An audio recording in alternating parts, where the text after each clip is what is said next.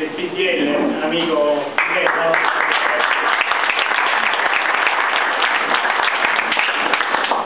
Grazie, io quando visto stata annunciata la presenza di Stefano, ho pensato per un attimo, voi vedete che Stefano fa una- un annuncio in diretta e consente di Un atto di umiltà, un atto di umiltà. e quindi eh, e spero insomma, che questa cosa resti comunque in qualche modo sullo sfondo, sullo scenario di una vicenda eh, comunale che si stretto la guardia. Dobbiamo fare ciascuno un po' di mia colpa per quello che è accaduto, ai vertici del partito, ai responsabili locali, perché è stata veramente gettata al vento un'occasione. Io mi scuso con Marco Sturria che ringrazio per la sua presenza qui in Campania, cioè fuori dalla sua circoscrizione elettorale, essendo lui eletto a Roma e nella circoscrizione dell'Italia centrale, ma se qui vuol dire che c'è chi fa politica al di là delle convenienze elettorali, c'è chi fa politica non solo incontrando i propri elettori, ma anche incontrando gli elettori degli altri, c'è chi fa politica cercando un po' di rendersi conto di che cosa si fa, di come la si pensa, di come si agisce anche al di fuori dei propri confini elettorali.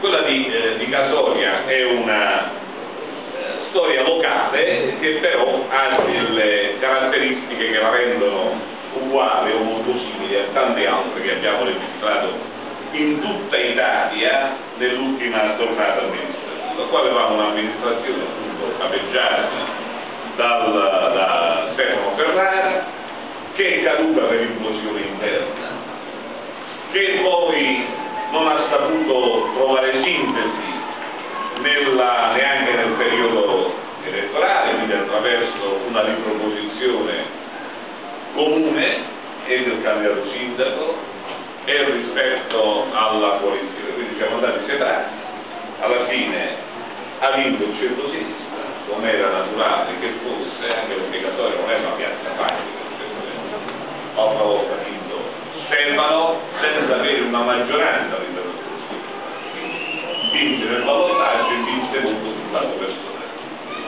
Naturalmente ha avuto problemi, ma nessuno di noi poteva immaginare che nel giro di così poco tempo, anche se è stata un'esperienza molto intensa, si arrivasse poi di fatto a consegnare di nuovo la città alla sinistra. Ho sentito gli interventi di Giovanni, di Daniele e naturalmente di, di Luca. Per fare politica non è necessario il pennaggio, è importante il ruolo. Il ruolo lo si può avere indipendentemente dal fatto di sedere in un consiglio comunale o un'assemblea elettiva, tanto meglio starci. Ma se non ci si sta, si fa politica lo stesso, non è morto nessuno, si gettano le premesse per nuove battaglie, per raggiungere nuovi traguardi, per eh, tagliare nuove mete. E io penso che qui esistano, in questo circolo, in questa comunità, a prescindere anche dalla posizione che sono state prese nelle ultime elezioni amministrative, esistano tutti gli ingredienti e tutte le possibilità per riprendere una battaglia, per ridiventare protagonisti all'interno della comunità, per dire la propria sulle scelte che l'amministrazione andrà a fare, per veicolare quei valori che trovano una particolare sensibilità nelle nostre comunità giovanili, cioè fare tutto quello che serve a fare politica nel senso alto e nobile del termine. Luca rappresenta, e Luca e tanti altri, rappresenta una generazione che è grata alla memoria di Fattore Borsellino, perché come spiegava Luca, sono nati politicamente in quel frangente, hanno avuto consapevolezza di un impegno a seguito di quell'evento così brutto, così tragico, così gravido di conseguenze per l'intero paese. È quindi una generazione che è cresciuta all'insegna della, non solo del rispetto, ma quasi della sacralizzazione del tema della legalità, che invece in un paese normale dovrebbe essere una precondizione, che politica è naturalmente, è naturalmente rispettoso della legalità, perché i parlamentari fanno le leggi, quindi se i parlamentari fanno le leggi significa che dovrebbero essere i primi, una volta fatte, a rispettarle. I pubblici amministratori sono quelli che agiscono all'interno di un sistema prefigurato di leggi e amministrano il denaro pubblico. Quindi si presuppone che coloro i quali vanno ad amministrare la cosa pubblica lo facciano nell'esclusivo interesse dei cittadini che li hanno votati. Questo è quello che accade, poi naturalmente ovunque c'è la corruzione, ovunque c'è il malaffare, ovunque c'è la commistione tra politica, affalismo e anche cose molto più gravi, ma tutto questo appartiene alla patologia del. C'è invece in Italia un rapporto particolarmente ingangrino, particolarmente malato e questo naturalmente ha favorito anche la nascita di una generazione che assolutizza questi valori e li espone come se fosse una bandiera politica. La legalità non è una bandiera politica, la legalità è una precondizione del fare politica, ma se diventa una bandiera perché realmente se ne sente bisogno ancora di più che rispetto ad, ad altre parti. Allora, nelle nostre zone, nel napoletano, in campagna, centrale, non viene neanche molto è un tema centrale, perché qui vi è una, una dose industriale di commistione, qui vi è il più alto numero di consigli comunali sciolti a seguito di infiltrazioni camorristiche, qui vi è una situazione molto labile nel, nel, nel, nel confine tra lecito e illecito, quindi qui maggiormente c'è bisogno di una vigilanza alta, direi particolarmente profonda. Perché questo accade oggi? Questo accade oggi, ce lo dobbiamo dire senza ipocrisia, questo accade oggi più ieri, perché ieri funzionavano meglio i filtri dei partiti e oggi i partiti non esistono e non è un bene che non esistano i partiti. I partiti formati esclusivamente dalle leadership possono funzionare a livello nazionale ma non funzionano a livello locale. Perché se un camorrista decide di entrare in un partito e quel partito è rappresentato da un leader a livello locale, da uno solo, lì non c'è filtro.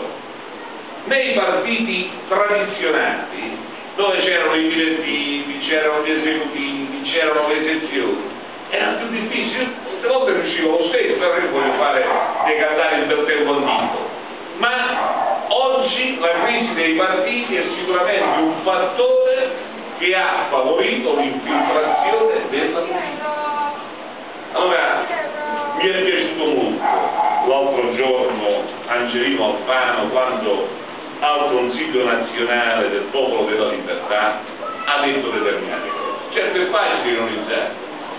Quando Alfano dice io vorrei che il PDL diventasse o fosse il partito degli onesti e qualcuno ironizzato. Vedi, su questo oggi c'è poco da scherzare perché dico chi è senza peccato scadi la prima pietra, vediamo quello che sta succedendo nel PD con le tangenti dell'ENAC, con, con, questioni che lambiscono persino, persino da l'EMA, o se vediamo, per tornare alle cose di casa nostra, quel gagliotto dell'Italia dei valori, come si chiama, quel barbato, che dà le patenti comunità e poi un piccolo escorsore, che ne assume la responsabilità, che ha chiesto consulenze per 20.000 di 20.000 euro a quel piscione che è diventato l'accusatore dell'onorevole milanese, per il quale pende una richiesta di arresto. Quindi eviterei di fare la conta del dare e dell'avere rispetto a chi è più o meno.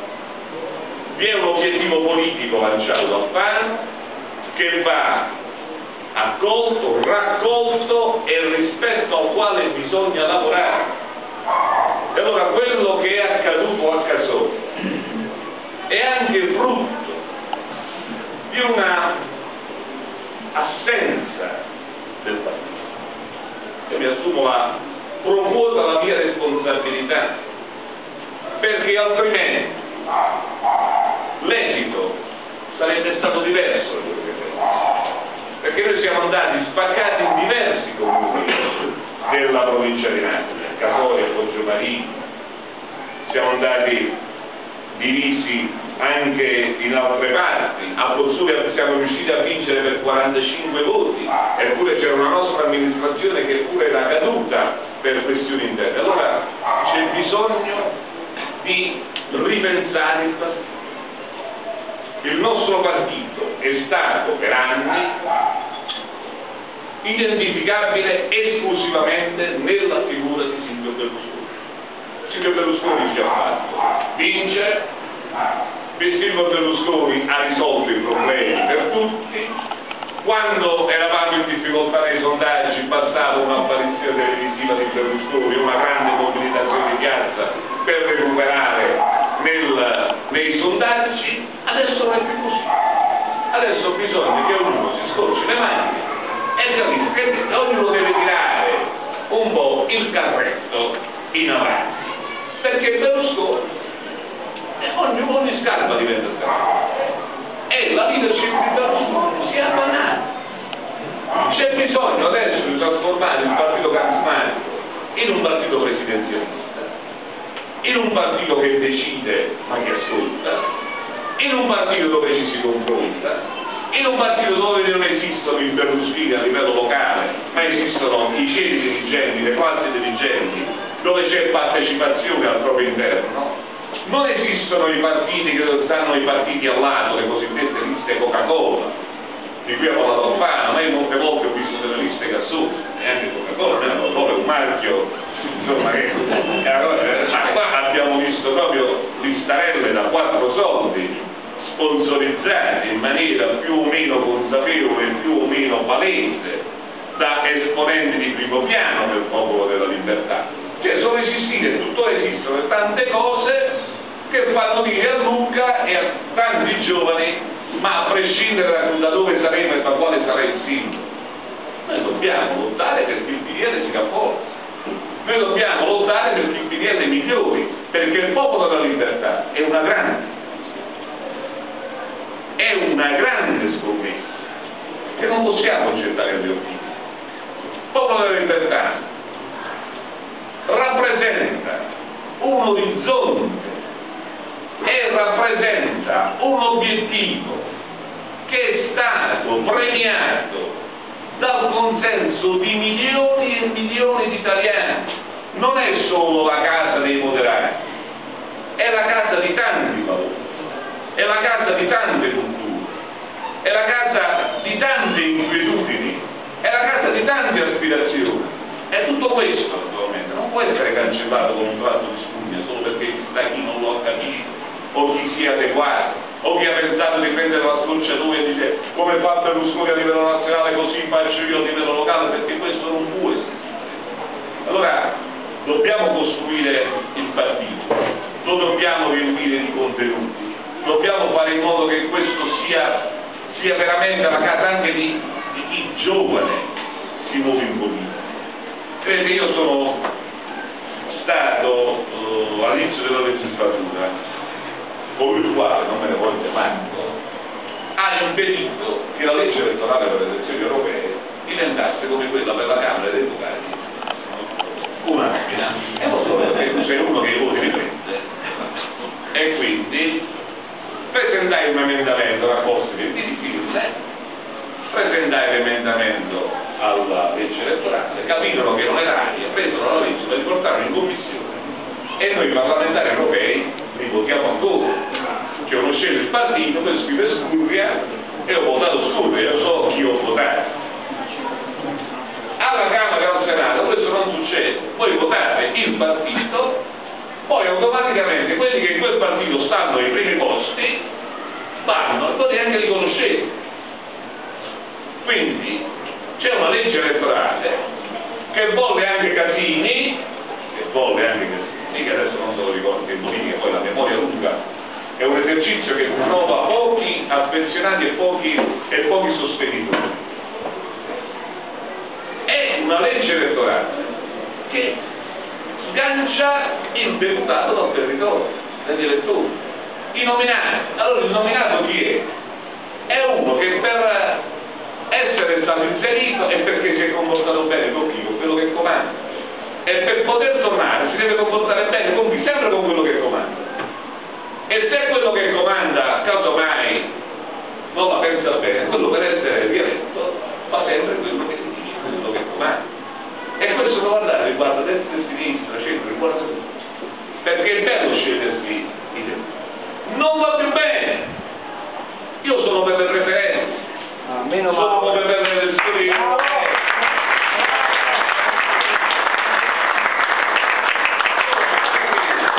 La politica torna a instaurare un rapporto di fiducia e diretto. Noi togliamo le preferenze che dicevano che era il male assoluto. Passando alla preferenza unica che è un sistema per carità del rapporto, quello fa. Quello è proprio da bandire, ma la preferenza multipla, con la possibilità di fare anche le cosiddette cordate, ma significa che se Mario Landolfi è un grande intellettuale che però non ha possibilità, non ha ah, radicamento, ma può portare un valore politico aggiunto, trova quello che riesce a trascinare con eh, la- l'obbligo di genere per dare la possibilità alle donne di accedere alle cariche elettive, perché vedete che è successo per esempio al Comune di Napoli, con la preferenza unica, non è stata eletta neanche una donna Eh, eh. tutti uomini. E così è accaduto a Caserta, un'altra città capoluogo. Donna in consiglio comunale è subentrata solo dopo la nomina degli assessori.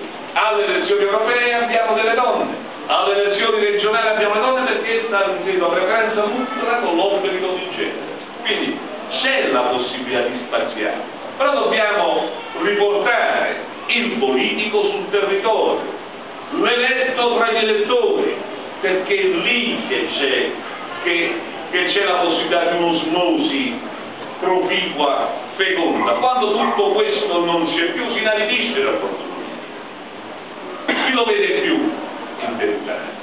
Chi lo vede più il senatore? Che cosa fa? Che cosa dice? Qual è l'attività? In che modo sta pensando al territorio? In che modo sta cercando di fare quelle cose che servono più o meno al miglioramento del- del- del- del contesto nel quale viviamo? Allora, sono questi i temi sui quali noi dobbiamo discutere. Le primarie va benissimo. Berlusconi deve essere, deve essere il leader. Berlusconi fa le primarie. Tanto le vince Berlusconi fa le primarie. Però è importante che ci sia da parte nostra un sistema di selezione. Se avessimo fatto le primarie a Casoria, non avremmo avuto le spaccature, ci saremmo affidati agli iscritti ai militari, naturalmente le primarie con, con delle regole. Dobbiamo mettere cioè dei meccanismi di selezione? Il popolo deve scegliere. O sceglie prima quando si formano le candidature, o sceglie direttamente le liste, non è possibile che non scelga mai, né quando si fanno le candidature, né al momento delle elezioni, perché vi è un esproprio totale di quelli che sono i diritti politici dei cittadini. Allora, un partito dove ci si confronta, un partito che sia partecipato. A me piacciono molto le tecnologie, questo è un doppio difetto. Colloquio pure qualche volta attraverso la rete, però mi piacciono quei partiti fatti di persone, dove sei, dove ci sia il contatto, dove ci si possa in qualche modo guardare negli occhi, dove si possa discutere. Insomma, il partito che abbia qualche, qualche tratto tradizionale che non guasta mai, perché la partecipazione e il confronto sono il sale e sono il sale anche della vita dei partiti.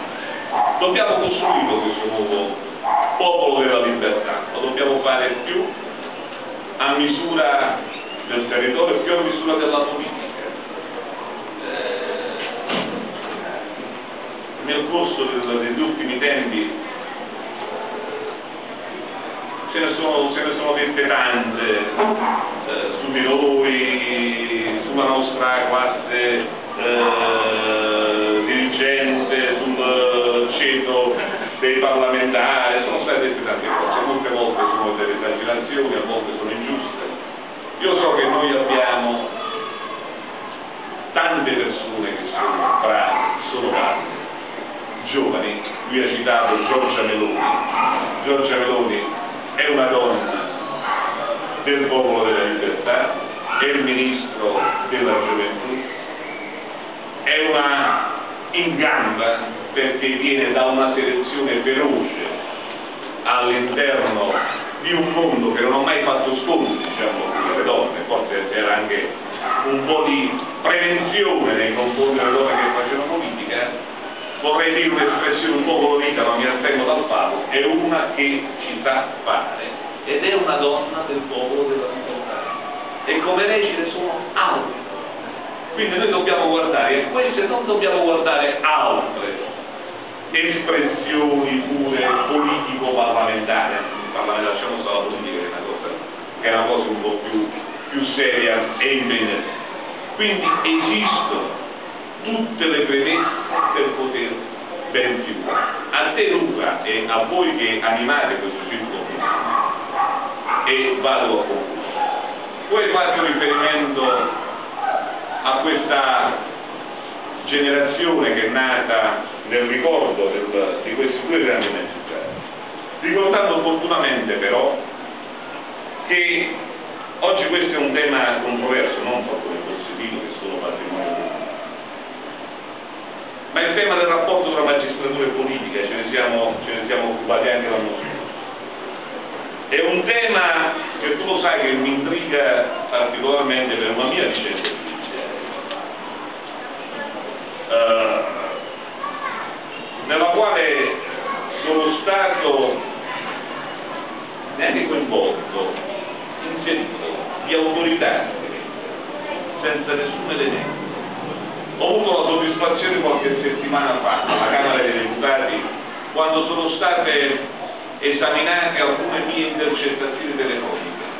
Io avevo comunicato integralmente sul mio profilo Facebook, le avevo mandate tutti internet, insieme a tutti i casi dell'inchiesta, della serie non ho nulla da nascondere, leggete tutto, fatevi un'idea, fatevi sapere. E molti mi hanno fatto sapere. Bene, ho avuto la soddisfazione alla Camera dei Deputati che i gruppi dell'opposizione, persino l'onorevole Maurizio Turco del Partito Democratico, ha detto io non capisco a che cosa possano servire delle telefonate in cui un esponente politico parla di politica. Lo ha detto Mantini dell'UCC, lo ha detto Conso di e Libertà, lo ha detto la Lega, vabbè, non l'altro di governo, non lo hanno detto ma lo hanno pensato quelli dell'Italia dei Valori che si sono arrampicati sugli specchi. Perché Perdonate un attimo, comunicazione di servizio veloce, c'è un audio station wagon sopra il marciapiede, bisogna toglierlo. Che i vicini. Scusate. Prego. Quindi ho avuto la soddisfazione di vedere finalmente riconosciuta non una, ma la mia totale estraneità rispetto ad un'inchiesta che mi è costata molto in termini politici, io sono stato ministro, sono stato due volte presidente di un'importante commissione, nella passata legislatura ero insieme a Scaiolo, uno dei due rappresentanti dell'opposizione ad avere una carica istituzionale, dopodiché sono stato fatto perché? Perché c'era l'inchiesta, sono ritirato in buon ordine, non ho fatto nessuna nessuna rimostranza, nessuna recriminazione, capita in politica. La politica non è, non c'è la carriera in politica, in politica c'è un percorso, una vocazione, non è una strada ferrata dove c'è un binario un posto simile alla montagna russa dove si sta scendendo vorticosamente, nei nipoti d'Italia, ci sono delle corse all'improvviso, la, la politica è la vita, non è una cosa che può essere prevedibile, immaginabile programmabile da qui all'eternità, è fatta di rovesci, di fortuna, fatta di alti e di bassi. Quindi sono ritirato in buon. Ho fatto politica, non mi sono arreso, ho lavorato sul territorio, sono diventato vice coordinatore del PD. Ho fatto un grande percorso, ma ho lavorato sul territorio, come ho sempre fatto, senza risparmiarmi, e ho ottenuto questa soddisfazione. Tutto questo mi è capitato perché c'è una magistratura, non tutta, ma che in qualche modo. Quando si tratta del centro-destra non guarda invece nessuno. Fare, fare una battuta. Passo vero, mettervi le mani addosso e inserirvi in maniera del tutto arbitraria, del tutto ingiustificabile, in una inchiesta giudiziaria. Ho parlato di me perché quando parli di te ci metti il tuo corpo, sei più convincente di qualsiasi altra cosa. Allora dico questo perché, attenzione, Falcone e Borsellino hanno pagato con la vita. Erano dei grandi magistrati che in vita non hanno ricevuto tutti questi onori che oggi gli vengono tributati. Falcone fu osteggiatissimo da tanti che oggi lo venerano. Alla Camera, quando ci fu un momento di grande tensione su un tema come questo, e c'era l'Italia dei Valori che si agitava, io chiamando un parlamentare, indicando l'onorevole del Orlando Tascio, già sindaco democristiano di Palermo, poi fondatore della rete, oggi esponente dell'Italia dei Valori, io dicevo chiedete Orlando se Falcone era un buon giudice, chiedetelo a lui perché lui accusò Falcone di far dormire le inchieste nei cassetti. Lui accusò Falcone di aver fatto il finto attentato della Daura per poterselo giocare in vista degli incarichi. Chiedete a lui che cosa disse quando Falcone incriminò per calunnia un pentito che accusava Salvo Lima, cioè referente di Andreotti in Sicilia, di essere il mandante dell'omicidio Mattarello. Lo incriminò perché era un pentito che diceva bugie. Quanta differenza, amici di Catoria, tra il giudice Falcone e il pubblico ministero in Groia che va alle manifestazioni di partito e che ha santificato quell'imbroglione mafioso, figlio di mafioso che si chiama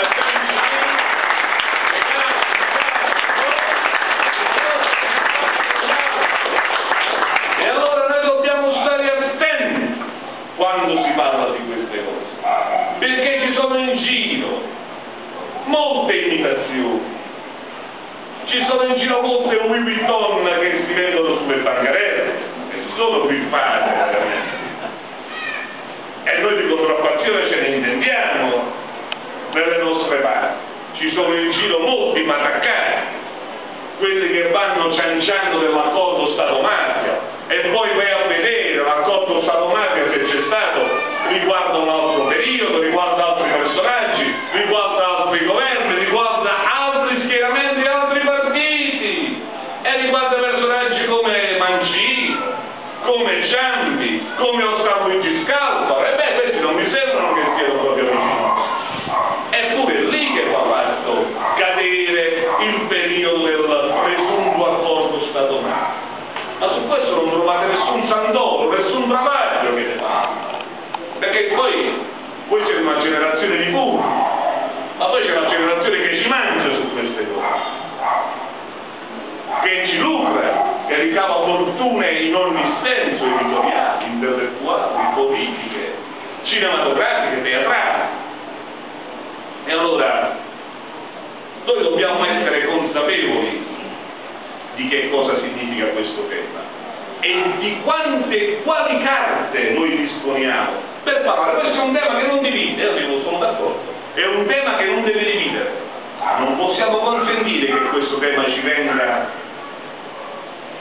buttato addosso come se fosse un manganello una clave con la quale, una clave con la quale colpirci, perché non hanno le carte in regola. Allora io sono invece perché si faccia di questo tema un tema trasversale alla politica, diventi quella precondizione di cui parlavo prima, non sia sempre meno bandiera e sia sempre di più tessuto patrimonio comune, che sia una precondizione che ispiri il politico, l'amministratore, colui il quale vuole fare politica, perché chi, si am- chi amministra, chi ha cura della cosa pubblica, lo deve fare solo nell'esclusivo interesse dei cittadini. Io sono un politico che vive solo degli emolumenti parlamentari, che sono buoni, sì, ci pagano bene. Io ho avuto di recente una polemica con un mio ex compagno di partito che si chiama Fabio Granata, che ha seguito Fini, che è un piccolo impostore, non troppo piccolo, che mi aveva attaccato. Ho detto io sfido Granata ad un confronto sulla legalità, o meglio lo sfido ad un confronto sulla coerenza applicata alla legalità, perché potremmo parlare del cosiddetto familismo morale e vedere per esempio chi di noi ha parenti che ha affittato immobili ai comuni, chi di noi ha direttamente o indirettamente quote in società che prendono soldi pubblici, chi tra di noi in qualche modo lucra intorno alla politica. E poi gli ho detto, ha ragione che la legge deve essere uguale per tutti e ci mancherebbe altro. Noi abbiamo l'immunità, non di auto- autorizzazione a procedere perché ci incriminano un po', ma se ci vogliono arrestare, se ci vogliono perquisire, se vogliono ascoltare la nostra telefonata lo devono chiedere alla Camera. Questo è vero, c'è questa immunità. Poi ce n'è un'altra immunità, che è quella che deriva da chi si può fare amicizia tra i magistrati, deriva da relazioni incestuose tra politica e magistratura. Molte volte chi dice l'immunità va tolta dai politici. È solo perché si sente protetto dalla seconda, dalla vicinanza, da quando fanno i convegni insieme, da quando si incontrano a cena, da quando decidono gli equilibri. Ecco, tutto questo in altri paesi non esiste, esiste solo in Italia.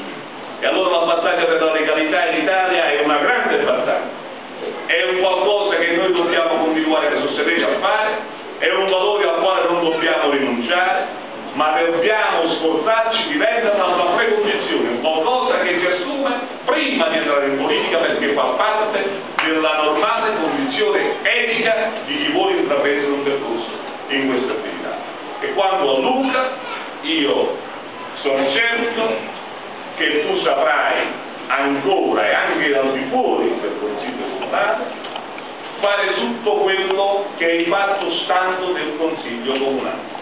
Io ricordo l'anno scorso con Stefano parlammo dell'inaugurazione di una biblioteca qui a, a Casoria, fu qualcosa che fece questa, soprattutto con il sindaco, questa comunità romana e questo è il, è il percorso che dobbiamo intraprendere. E ricordati Luca che in politica non vince chi non cade mai, questo è impossibile, vince chi sa rialzare. Okay.